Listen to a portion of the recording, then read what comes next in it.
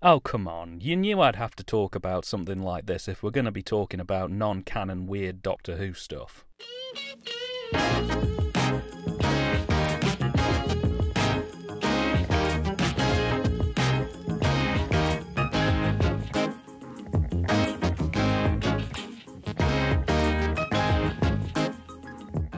Doctor Screw is a 2006 porn parody series that was produced for the Adult Channel in the UK. The Adult Channel was and still is owned by Playboy and is effectively a pay per view station. And like many pay per view stations, their content is greatly exaggerated. But having seen the content from these kind of channels, I can assure you you'll see more skin in Game of Thrones than you will on the likes of Playboy TV. In short, they're a bit of a scam. But the key here is advertising. And when it comes to trying to sell these things, these channels have form. A successful seller is the ancient art of the porn parody. Take a thing that people love and add dirty, dirty sex into the mix. Peanut butter, meet chocolate. Chocolate, peanut butter. Surprisingly, porn parodies were a slow grower in the industry, with the first documented porn parody being a tie between either 1973's Bat Pussy, a parody of Batman, or Snow White and the Seven Perverts. The genre would continue off and on through the 70s and 80s before finally picking up in the latter half of the 80s with titles such as Flesh Gordon, Edward Penis Hands, and The Penetrator. By the early 2000s, digital TV had all but cornered the market on being able to show you the kind of perverted nakedness that made other terrestrial channels like the BBC and ITV shrink and recede into a small ball in the corner. And porn parodies for adult specialist channels were their bread and butter. While little footage survives of the early days of adult television in the UK beyond officially released DVDs, there were a number of parodies around at the time, including porn versions of Shameless, Ashes to Ashes, and even reality TV shows like Big Brother. These would often have quippy titles like Gashes to Gashes or Big Bummer. They'd be made for about 20p an episode and were 9 times out of 10 utterly dreadful from a technical standpoint. But the nature of these channels was to keep punters paying, so almost mechanically they'd release new content on an almost week by week basis. In fact, there are several horror stories of filmmakers and editors basically working round the clock to keep footage pumping out in order to keep these channels afloat.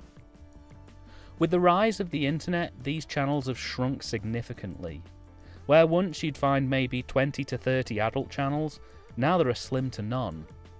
And what's left is normally nothing more than a woman in the world's smallest lingerie chatting with a pay by the minute number running at the bottom of the screen.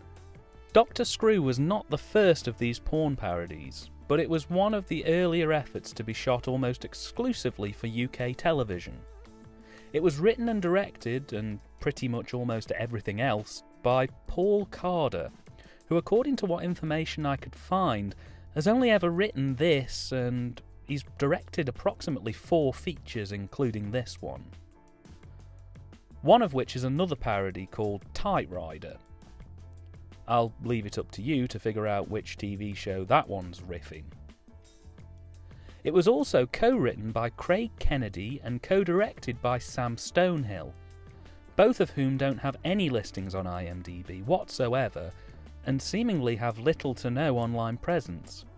So, whether this was their one and only stab at cracking the media industry or not, I can't honestly say. Dr. Screw follows the Doctor, played by Mark Sloan, an actor who's appeared in multiple softcore features, both parody and straight. And also, rather bizarrely, I'd discovered he'd worked multiple times with the experimental filmmaker Chris Cunningham, who produced the rather surreal and nightmarish short film Rubber Johnny. The Doctor's an alien who crashes to Earth while attempting to hunt his arch rival, the Mistress. Yes, I know, and this was almost 10 years before Michelle Gomez would step into the role for committing time and space related crime? I think. It's never really made clear. So the Doctor crashes on Earth outside of a nightclub and needs to assume human form to better blend in. So he kidnaps the lead singer of a punk band, Mr. B Nasty, and literally steals his skin. Whether this is an invasion of the body snatchers type deal or whether he literally just ripped the guy's skin off is never made clear, but he is capable of firing light out of his eyeballs and mouth, and he speaks with an overly posh British accent, so go hero? Anyway, as the lead singer of a punk band, he draws a bit of attention to himself, particularly from a local newspaper journalist, Holly, played by Ellie Brook another actress whose IMDb page would make a nun reach for the chords of love, who pesters him until he reveals that he's an alien, which of course she doesn't believe, and after a while she offers to invite him to her home to get a big scoop interview.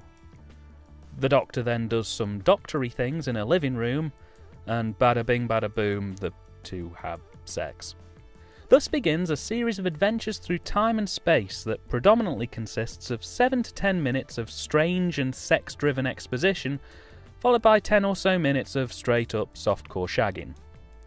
Usually chased up with a 3 to 4 minute outro. And I'm going to get this out of the way sooner rather than later. Neither of them are particularly very good. For starters, the dialogue both outside of the sex scenes and within them are bland, flat, and frankly cringe inducing. While Sloan is probably the best actor in this series, and he does have a more than reasonable, if not somewhat generic, doctory quality, nothing can prepare you for his sex talk, which includes lines such as Do tuck it. He quite literally oh crikeys his way through these scenes, and it's quite painful to watch. Brook, by contrast, is simply a poor actress. Her performance in this is totally lifeless, and it really feels like she's reading off cue cards immediately behind the camera. On the effects front, I found myself torn as well. For a very low budget early 2000s TV show, the CGI elements of this aren't terrible. In fact, the intro CGI is more than passable for a parody from the early 2000s even if the font used isn't all that great and the music's a bit flat. The practical effects throughout, however, are absolutely dire, with Poundland rubber masks being used for aliens and the best outfits that the local fancy dress shop could supply. It's clear to see how the budget was allocated here. The sex scenes themselves are frankly unappealing. Most have been shot with room ambient lighting, and if there were any proper lighting kits, then they were presumably switched off. Sex scenes are very difficult to light and often rely on very bright, soft lighting to flatter the artists at work. This makes them look the best they can. These sequences are shot flat and barely lit. As a result, you see every wrinkle, pimple, and crease in these sequences. They also sweat a lot, which is natural, but not particularly sexy. In somewhat of a saving mercy, most of the worst naughty parts are strategically covered up. The odd boner will creep into the shot in a blink and you'll miss it kind of way, but I genuinely feel sorry for the pundit who coughed up 8 to 10 pounds a night to see people not have sex and still be judged for it. The cinematography is flat, very basic, it has no real experimentation. When it comes to the sex itself, it's a bit more acceptable because you're working to the strength of your actors rather than your creative requirement. But the exposition sequences are just dull as dishwater, with only the odd performance or bit of CGI truly livening things up a bit. The direction, by contrast, isn't really all that bad, though. The exposition scenes are admittedly just a load of people standing around waiting to have sex, but sequences where cast members are on their own tend to actually work out rather well. It does quite a good job of mirroring some of the scenes that were quite well received from the first series of New Who, including a quite nice reference to the Doctor checking out his latest incarnation in Rose, and the sequence where B Nasty gets abducted is ripped clean out of the Slitheen two-parter of that year. They also have parodies of the Autons further down the line, and there's even an episode that references the more futury stories like The End of the World and The Long Game. So it's clear someone on the cast and crew was actually watching Doctor Who.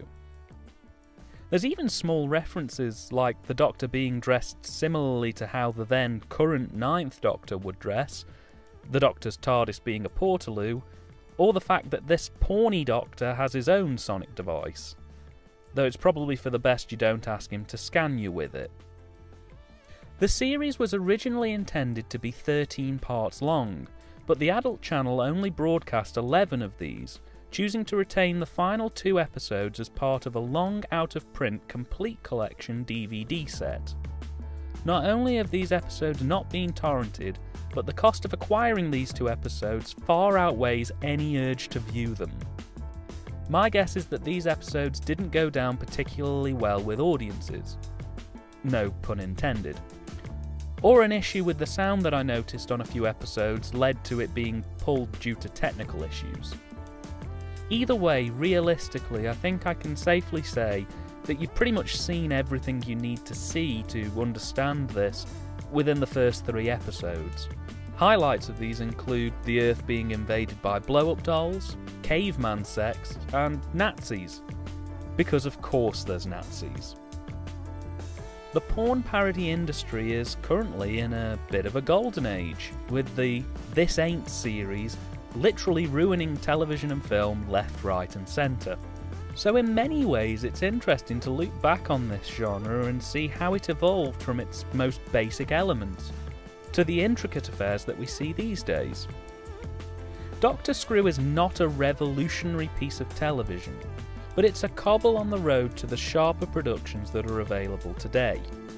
Can I recommend it? Absolutely not.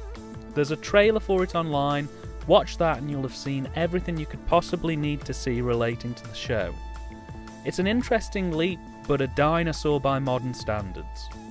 It left me wondering how it took until 2006 for them to finally make a serialised Doctor Who porn parody, and one so flat and lifeless at that. Oh, and this thing had its own commercial bumpers as well. Forsen, cunning linguist.